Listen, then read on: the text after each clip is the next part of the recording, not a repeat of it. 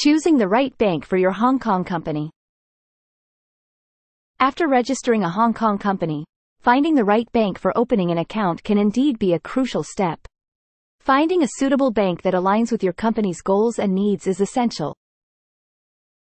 When you create a Hong Kong company, the goal of opening a bank account is to achieve various benefits, including flexible fund management, conveniently manage your funds, cross-border transactions, facilitate cross-border payments and receipts, online account management, easily manage and inquire about your account online, invoicing, simplify invoice issuance, large foreign exchange transactions, easily handle significant foreign exchange transactions.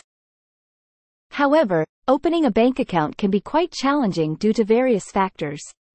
Incomplete documentation. Ensure all documents are complete and accurate. Bank criteria. Meet the internal criteria set by banks.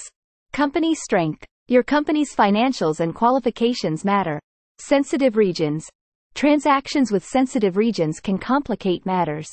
Failed interview. Successful face-to-face interviews with banks are crucial. Sensitive business operations. Some banks might decline accounts for sensitive businesses.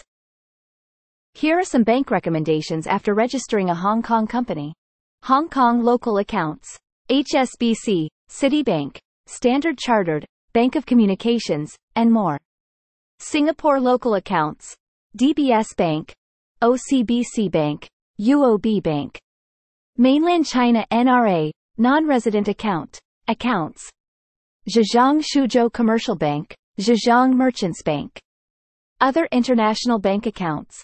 Arival Bank, USA, CBI Bank, USA, ABA Bank, USA, and banks in Malaysia.